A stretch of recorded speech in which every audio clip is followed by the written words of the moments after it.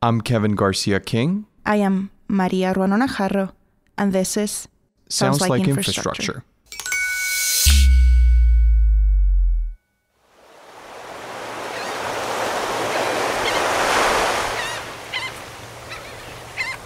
When a hurricane uh, goes to the coast, one of the first things that you can notice is that the weather is changing. I mean, you can go from a clear day with no clouds to rain. The rain will continue to increase during the day, and first we have showers, then thunderstorms, and with those bands of rain, we can get some tornadoes when the rain starts to fall over and over during the day, you get the floods. So it's very dangerous for the residents.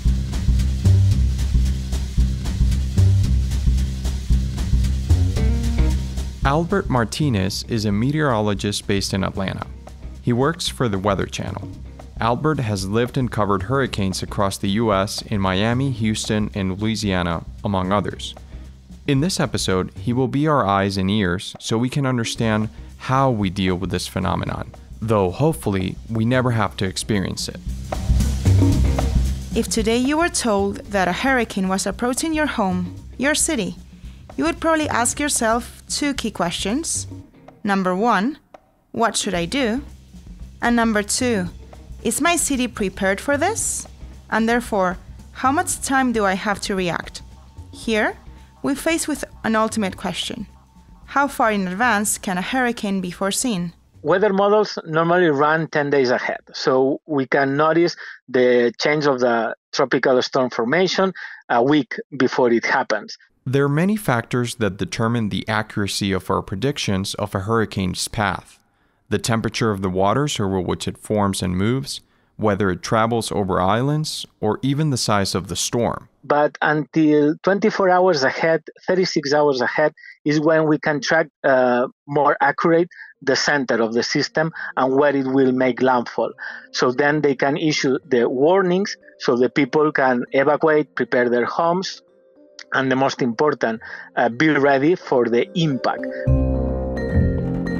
Hurricane Harvey was very difficult and very hard on the Houston community. Edgar Acosta is Design Build Estimated Manager at Webber, a Ferrovial subsidiary. He lives and works in Houston, and he witnessed firsthand the arrival of Hurricane Harvey back in 2017. I, don't think there's anyone that doesn't know someone that was affected or affected themselves. Um, fortunately, in my case, my neighborhood sits a tiny bit higher than the other, so we could see the water, but it, it, it didn't get really close to our neighborhood. Edgar describes flooded houses with 20 inches of water. So many of his neighbors lost everything. It was a Friday when Hurricane Harvey, I think, actually was going to make landfall, and we knew exactly where it was going to come in and where it was going to impact. Daniel Morrow is construction manager at Webber. He lives in Cleveland, Texas, on a home up a hill usually sheltered from heavy rains and floods. That was until Harvey. Hurricanes, they don't hit real fast. It takes them hours and hours and hours to finally make landfall and start doing their thing. And and uh, so, you know, we went through Friday night uh, into Saturday. We still had power, like the power wasn't out. Uh, everything was still was still good. Just a lot of wind, you know, starting to see a lot of that rain. Uh, the rain was not accumulating yet, you know, no big deal. So we go on into Saturday and we go into Sunday. But as the water starts rising, you go out and you put like a stake in the ground at the edge of the water. And then every hour or two hours, you can go back and look. Sunday morning, from where the water was at, where we went to bed Sunday night, and we woke up Monday morning, the water had moved within, I don't know, two or three hours that morning uh, that water had rose another probably eight foot.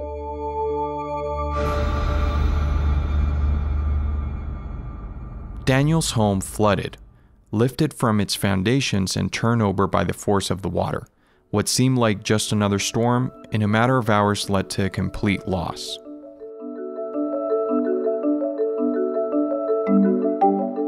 To try and predict the possible consequences of a hurricane, one of the variables to consider is the intensity of the storm. To measure it, we use the Saffir Simpson scale, which classifies tropical storms and hurricanes from 1 to 5, with 5 being the most powerful hurricanes, hurricanes that reach winds of up to 170 miles per hour. They have an additionally dangerous feature the eye of the hurricane and it's very dangerous to be in the eye of the hurricane because first we have the winds, the rain, the tornadoes, then the calm, and not long after the other side of the A wall uh, with the winds in the opposite direction from the front side. And this is what can uh, break down trees, power lines, roads, uh, houses, because the change of the direction of the wind is very strong and it happens quickly in just a few minutes. When we face very unpredictable situations, this is where engineering can bring us very useful solutions. On the coast of Miami, an area particularly exposed to large storms, we encounter the Port Miami Tunnel, a 0.8 mile long roadway that runs underwater. An underwater tunnel that handles a high volume of truck traffic to the city's port. As you can probably imagine, the arrival of a hurricane poses a significant challenge to manage this infrastructure. A, you have to do a lot of planning, right? So you have to know uh, to watch and pay attention to the hurricanes, what they're doing as they come up off of Africa and they're coming across the Atlantic there and they're they're aiming at us. So Paul Staton is business director at Webber. His team manages the Port of Miami tunnel when abnormal weather arrives to the city. The tunnel has a drainage and pumping system in case of rain, when manageable amounts of water enter. If a major storm is expected, the emergency systems are activated. In Miami, we, we take care of the tunnel and we have floodgates that, that close off. So every storm that comes through, part of the preparation is to ensure that we uh, can lower those floodgates. Uh, and it takes a, a certain amount of time to do that and those floodgates are there to help protect the tunnel as an asset in case a storm surge or flooding occurs that the tunnel itself will, will remain uh, potentially unharmed. This happens four or five times each hurricane season, which runs every year from June 1st to November 30th. After the storm has passed, they need to wait for the authorities' permission to reopen. And then once the um, conditions allow, then we reopen the, the tunnel floodgates and allow the usage of the tunnel once again.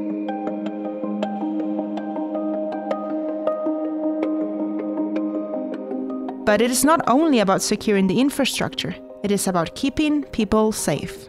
The bigger issue, the jobs that are that are actually on the coast where people are going to need to evacuate, you know, we always need to keep in mind that we're going to need to be able to provide access for people to, to get out of the area. Ryan McCalla is Vice President of Heavy Civil Operations at Webber.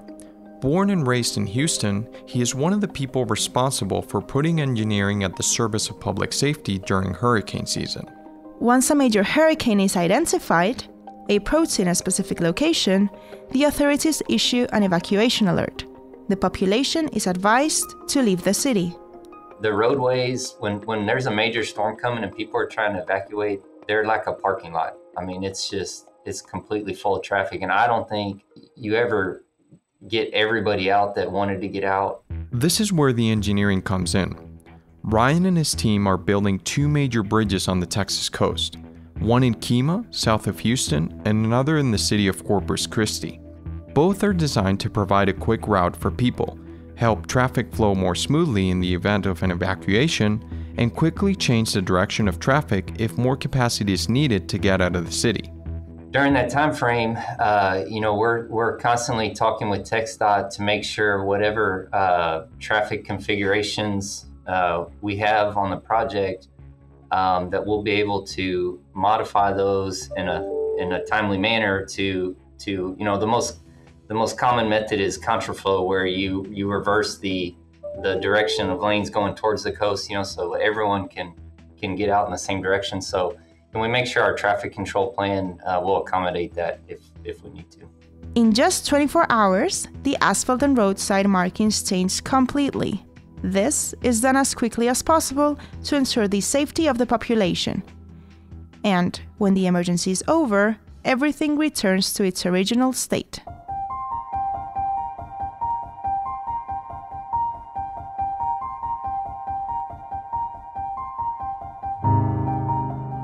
And then here we are, the calm after the storm. After Harvey, it's time to recover. Professional expertise goes a long way in repairing the damage. In Houston, Edgar Acosta and his colleagues at Webber decided to spend their weekends helping rebuild damaged homes in the area. Houston has had, the area has had previous events, flooding events, not to the magnitude of Harvey, but prior to that, we've had several. And Several of us in the community are familiar with what it takes to rebuild.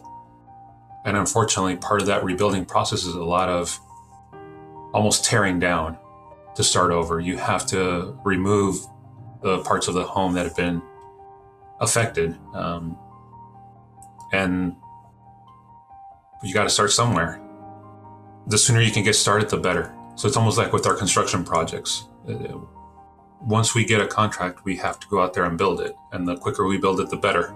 Edgar participated in the reconstruction of between 10 and 15 houses in a process that took about eight months of work. All the while, other Webber employees helped rebuild his colleague Daniel's home. Webber came through in such a such a profound way for a lot of people, not just me, but for a lot of people during this time of crisis and, uh, you know, Webber actually sent a crew out to my house with equipment to help me get my house tore down and moved and out of the way so that we could restart the building process. Uh, without that, trying to, you know, tear my house down by hand or, or something like that would have taken months, you know, months and months to do. And Webber sent a crew out and we did it in, in a day.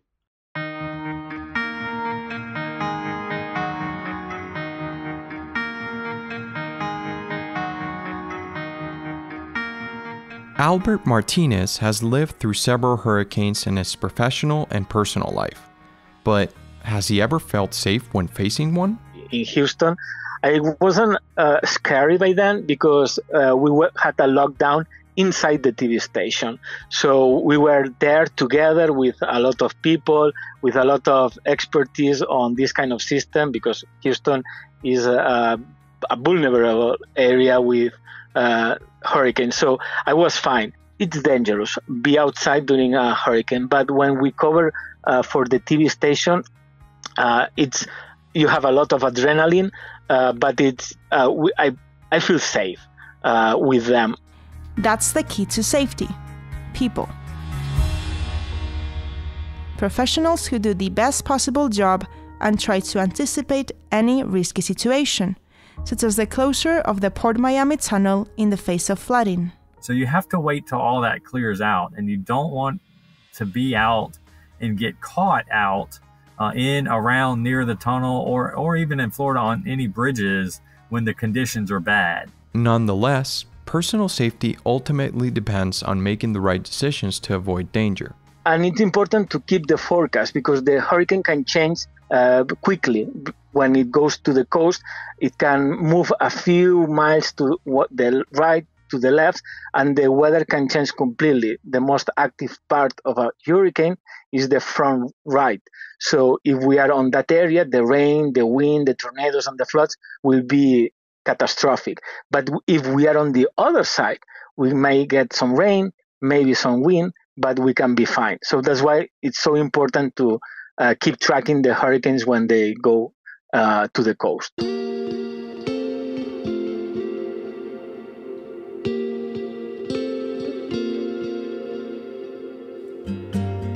As Edgar and Daniel have reminded us, there is something much more important than buildings, than construction, than any tool in the box. But what has happened, what I've noticed here in Houston, is that people are a lot more willing to help each other immediately.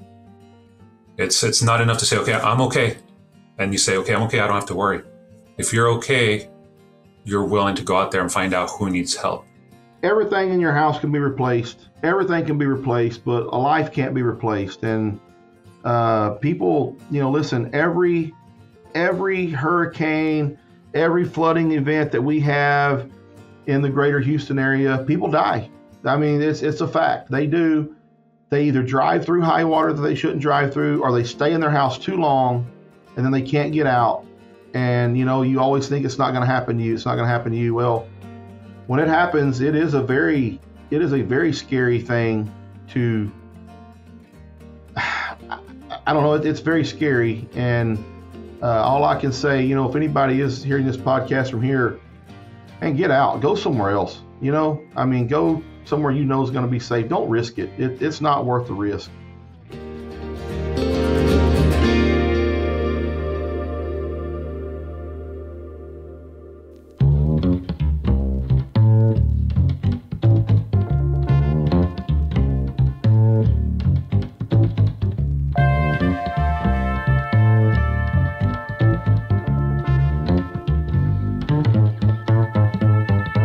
Thanks to Albert Martinez, Edgar Acosta, Paul Staton, Daniel Morrow, and Ryan McCalla for making this episode possible and for helping us understand what to do when facing such an extreme phenomenon.